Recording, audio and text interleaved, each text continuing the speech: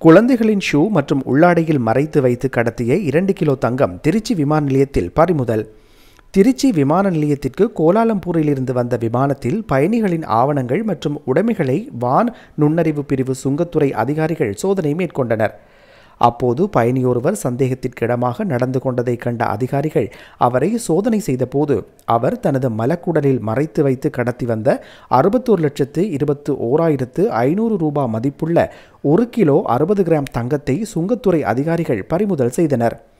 அதேபோல் அந்த விமானத்தில் பயணம் செய்த மற்றொரு பயணிகளான கணவன் மனைவி இரண்டு குழந்தைகளை சோதனை மேற்கொண்ட போது அந்த தம்பதியினர் தங்கள் குழந்தைகளின் ஷூ மற்றும் உள்ளாடையில் தங்கத்தை நூதன முறையில் மறைத்து ஒரு கோடியே எட்டு லட்சத்து பத்தாயிரத்து எண்ணூறு ரூபாய் மதிப்புள்ள ஒரு கிலோ எண்ணூற்றி எழுபத்தி இரண்டு கிராம் தங்கத்தை கடத்தி வந்ததை கண்டுபிடித்தனர்.